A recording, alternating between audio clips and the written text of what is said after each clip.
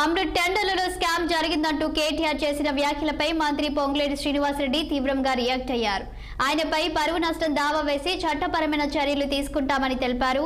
CM Revanth Reddy ఎనిమిది వేల ఎనిమిది వందల ఎనభై ఎనిమిది కోట్ల రూపాయలకు టెండర్ వేసి స్కామ్ చేశారని కేటీఆర్ కామెంట్స్ చేశారు.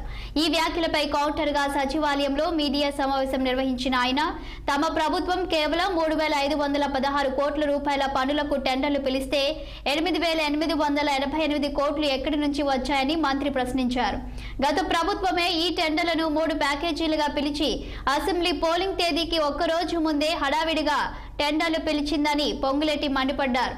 ఎనిమిది వేల ఎనిమిది వందల ఎనభై ఎనిమిది కోట్లకు టెండర్ వేసినట్లు కేటీఆర్ నిరూపిస్తే తాను రాజీనామా చేస్తానన్నారు. నిరూపించకపోతే కేటీఆర్ రాజీనామా చేయాలని తన సవాల్ స్వీకరిస్తే ఆదివారం ఎక్కడికైనా వస్తానన్నారు మంత్రి. స్పీకర్ ఫార్మాట్లో రాజీనామా తీసుకురావాలని కేటీఆర్ ఈ సందర్భంగా సూచించారు. పొంగులేటి శ్రీనివాసరెడ్డి ఆనాటి కేబినెట్లో రెండు పర్యాయాలు. ఎంఐయుడి మంత్రిగా ఉన్న గౌరవ కేటీఆర్ గారు ఈనాటి ముఖ్యమంత్రి గౌరవనీయులు రేవంత్ రెడ్డి గారికి సంబంధించిన పోర్ట్ఫోలియో ఎంఐయుడి ముఖ్యమంత్రి గారి దగ్గరే ఉంది.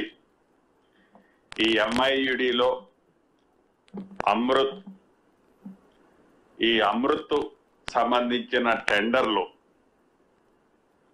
అవకదవకలు జరిగాయని ఎనిమిది వేల ఎనిమిది వందల ఎనభై ఎనిమిది కోట్లు అవినీతి జరిగిందని ఇది కేంద్ర ప్రభుత్వం నుంచి వచ్చే నిధులు రాష్ట్ర ప్రభుత్వం దుర్వినియోగం చేసిందని ఈ అవినీతి వల్ల గౌరవ ముఖ్యమంత్రి గారు వారి స్థానం అంటే ముఖ్యమంత్రిగా రాబోయే రోజుల్లో వారు వేసే కేసులకి ఎదుర్కోవాల్సి వస్తుందని తుది ఫలితం ఆ కేసులు వారు ప్రూవ్ చేసి గౌరవ ముఖ్యమంత్రిగా రేవంత్ రెడ్డి గారి పదవి దిగిపోతారని ఇంతకు ముందు మాజీ మంత్రివర్యులు TRS oblique BRS party working president గారు కేటీఆర్ గారు మాట్లాడింది మీడియా మిత్రుల ముందు విన్నా. లడ్డు కల్తీపై సమగ్ర దర్యాప్తు జరగాలని